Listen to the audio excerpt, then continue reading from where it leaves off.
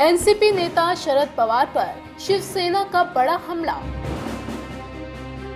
आखिर शिवसेना ने अजित पवार को क्यों कहा भैसा? महाराष्ट्र में हाथ से सत्ता फिसलते ही शिवसेना आग बबूला। हो गई वो न सिर्फ़ बीजेपी पर ताबड़तोड़ हमले बोल रही है, बल्कि एनसीपी से बगावत करने वाले अजीत पवार के खिलाफ भी आग उगल रही है। इसी कड़ी में शिवसेना ने एक बार फिर से अपने मुख्य पत्र सामना के ज़रिए एनसीपी प्रमुख शरद पवार के भतीजे अजीत पवार पर जमकर हमला बोला।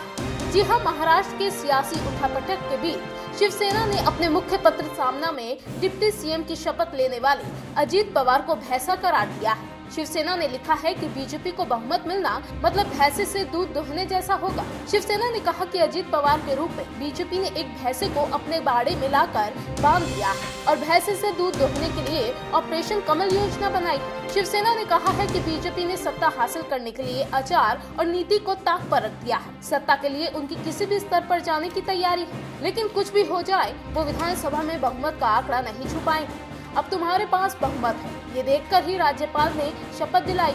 ऐसा तुम कह रहे हो ना? तो फिर ऑपरेशन कमल जैसी उठाई गिरी क्यों?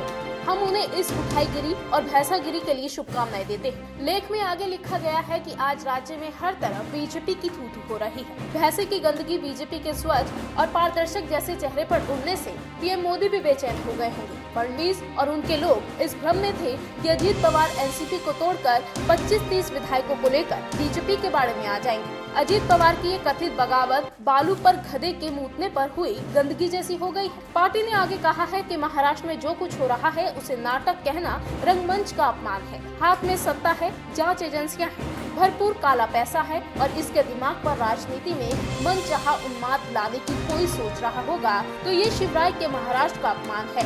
वास्तव में महाराष्ट्र में फ़िलहाल जो राजनीतिक अस्थिरता है, वो बीजेपी के चलते, उनकी व्यवसायिक वृद्धि के चलते और फंसाने की कला की वजह से है। पहले उन्होंने शिवसेना जैसा मित्र खो दिया और अब वो शातिर चोर की तरह रात के अंधेरे में अपराध कर रहे हैं। इंडिया न्यूज़ वाली की रिपोर्ट।